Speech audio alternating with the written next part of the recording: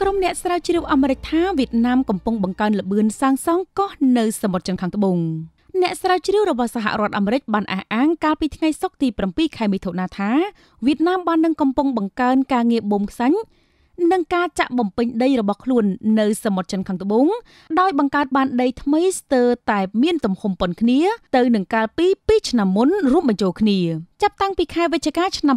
2023នៅពេលដែលវិទ្យាស្ថានគោលនយោបាយដែលមានមូលដ្ឋាននៅរដ្ឋធានី Washington បានចេញរបាយការណ៍ចុងក្រោយរបស់ខ្លួនប្រទេសវៀតណាមបានបង្កើតដីថ្មីដែលមានទំហំ692ហត្តាធៀបនឹង404ហត្តាដែលបានបង្កើតក្នុងរយៈពេល11ខែដំបូងនៃឆ្នាំ2023និង347ហត្តាក្នុងឆ្នាំ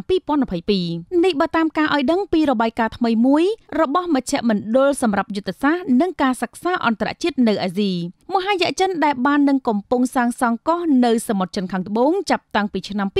2013បានទាមទារអធិបតេយ្យភាពលើទឹកដីដ៏ធំរួមទាំងតំបន់ដែលវៀតណាមកំពុងសាងសង់កោះផងដែរសមុទ្រចិនខាងត្បូងគឺជាផ្លូវទឹកមួយក្នុងចំណោមផ្លូវទឹក